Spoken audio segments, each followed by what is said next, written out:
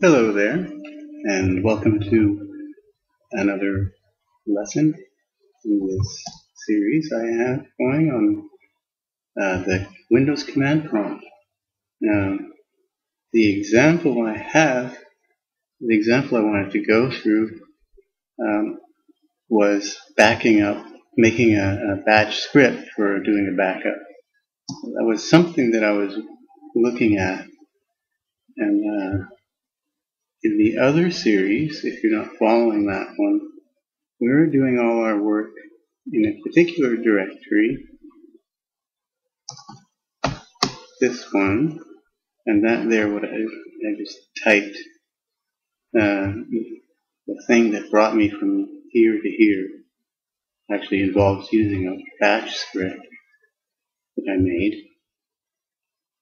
Uh, anyway, but besides that, we're working in this directory, and what I'd like to do is take this stuff and put it here in what's called what what I call my Dropbox. And what this thing is is uh, a folder that's connected to something on the internet. It's free, in fact. There's a program called Dropbox. You install it, you can have a special place for, where if you put something in there, it'll get backed up onto the online. And you get a certain amount of space for free and then you have to pay. So, uh, I don't, I, I have money, but I, I don't have a credit card, so I can't pay them. I have a limited amount of space. I can't put everything in my Dropbox. But I'd like to be able to back up what we're working on here. Going back to this one, I look at this directory, oh boy, I lost my directory. OGM. There we go. Um, so there are a couple subdirectories and the stuff we've been working on, various text files and things, and some documents and whatever. The problem is although this is here and I don't want to move it, I don't want this one to get backed up. So that's one problem. So I want to exclude this from the backup. And the other problem is, it's not really a problem, but I, don't want to keep backing up the same things. So if something's been backed up, I want it to not get backed up again. Okay. So I know, I happen to know that there's a, there's a uh, an advanced version of this command on the system. You, um, yeah. if you look through this help, it's got only a few things. But if you look through the help for this copy command, it's got all sorts of stuff. Uh,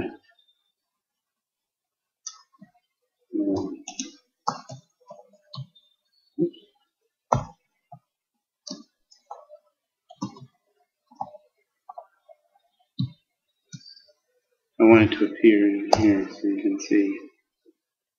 Uh, this has got all sorts of, uh, of um, options and switches and so on. And in particular, it has exactly the one I want.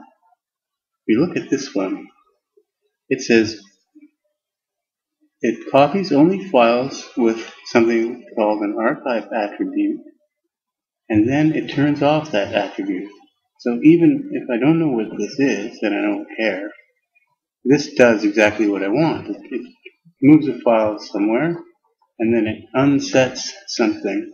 So the next time through, that won't be, that case will fail, and it won't copy it twice. So I need, I want this. That's one thing I want. And it's got a kind of exclude thing.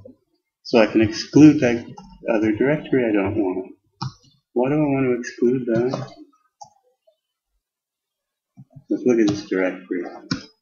Oops. Int jump. Okay. That's 9,997 uh, files. and I'm only allowed a limited space on there. So I don't, and I've already backed it up anyway, so I don't want to copy that over. Not under this heading. Anyway, I'll zip these up, and it compresses. It's very, it's very little in information in the actual text, and they compress quite well. I made one zip file, and I backed that up instead. So we want to exclude that from the backup. Okay, so those are two things that we want to accomplish with our backup script. Uh, the other thing is um, I want to take this, basically this whole directory and rebuild it in here. But not from here. I want to add one more level here. I could do this by hand, but I'd rather automate it. Uh, cpp debug. And I wanted to build all of those directories below this, yeah, this one. Uh, like I want to do a recursive or you know, I want to follow all the, the whole directory tree. Let's go back to where we were. I think there's something called tree. Yeah. Okay. So you don't need windows. You can see perfectly what's going on here. Here's where we are. There's another direct. Let me show you the two views. Here's one view. Okay. And here's the tree. I think we can get it all, almost all in one page. Not going make it shorter.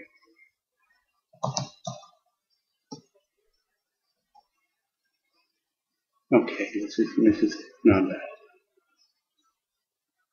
This is mm, that's not that great. Want to try and get get it all on one page, and I don't want to print out a few. Uh, if I do the tree, if I got rid of one file, I think it'll fit. So what I'm to do is use the move command. And I put this over in bin. Already got it there. Yeah. Uh, and the other one too.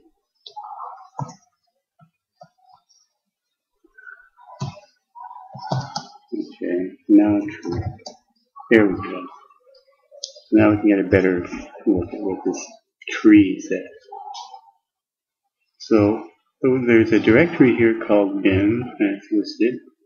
And underneath that is another one, 132, and then these other these two others, and the one I don't want. So in the end, over in the Dropbox, it should include these files, these files, these files, all this except that. That's what I want. And Xcopy uh, will do that for me. And it's working on this, what, what is it called, the attribute, archive attribute. Now what that is, I might have to split this up. That is, if you want to find out, every file has something called attributes, an attribute, okay? And that's like a characteristic. Yeah, is it something uh, that is a program, you know, uh, is it, can you, is it read only, is it hidden? Those, those are called attributes. And to find out the attributes of files in, uh, in any particular directory, you can just type attrib and press enter. Now, I, I didn't supply a parameter here, I just said uh, attrib. So that obviously the default is to just go through all the files that are here. Now I have one here, one file here that's got an H and that means hidden. And in fact, I don't want this to be here. I want to remake this one. I'm going to delete that. I've already done this. I made sure that it worked so that it'll, it'll work this time as well. I want to delete that. Now watch this. This is actually a good little demo. It's called X copy XDS. See, it, it can't see it, and neither can we. Where is it? It's hidden. Now, of course, there's always a way around these things. One way is uh, to just make it unhidden. So what we can do is we can add, attrib, we can say attrib, and then put a minus here for the attribute we want to take away, in this case the h, minus h, and then specify the file name, x, oops, xc. We're going to use the command completion. I'm going to press tab and fill that in for me. Now, you can see it. There it is. And I actually want to delete that. Now it's gone. Now it's really gone. It's on the list. It's, there's no hidden files or whatever. A lot of people like to, for instance, in Explorer, uh, have the hidden files visible. But uh, I'm the kind of person that, you know, I want to use this hidden feature because it's actually a, quite a good feature. It's not that I'm trying to, it's not that they're trying to, uh, it, it's a secret. You know, there's no secret. It's, it's that they're trying to hide from you a bunch of junk that you don't want to see. One of the things I don't, I never want to see. Well, too late now for that. But it's in this home directory thing. You see, you know, when I was when I used actually used to use this for documents and stuff, but I don't anymore. It's, it's just too much of a hassle. But it's got it makes all these directories I don't want. Pictures, you know, that, that's not where I would put pictures. If I had pictures, I might put it somewhere else. And it's it's trying to organize things in a way that it thinks I think, but I don't think the way it thinks. So we're we're kind of at odds. So I forgot. I said to myself, "Okay, forget the home directory. Uh, I'll just make my own place I do my own thing, it can pretend it's managing my information. Um, but anyway, what I when I was using this thing, what I would do with something like pictures is make it hidden, so then I wouldn't see it in the listing, and that was that was great. Videos, you know, I didn't want pictures and videos on the same level uh, get rid of all this junk, you know, and then the, it looked visibly anyway nice and clean. So I, I, I never liked, I never turn that show hidden things on. I know they're there, and I know I can see them when I need them, and keep them off. I mean, use the feature to my advantage. Now, um, so where were we? We managed to get rid of a file and now I showed you this attribute thing and here they are. I'll show you a few other attributes that you've probably heard before and uh, didn't realize you could turn them on and off. One of them is called S. So let's take this stack.text. I'm going to add an S attribute to it. Now I type attribute. Hmm. And now it's got an S. that little S there indicates to, the, to us and to the system that this is now a system file. So uh, if the system were looking at this and it sees that there's an S, it thinks that this now is a very important file. And it's not going to show it to you and it's going to alert, cause all kinds of alerts. You try to touch it or edit it or whatever.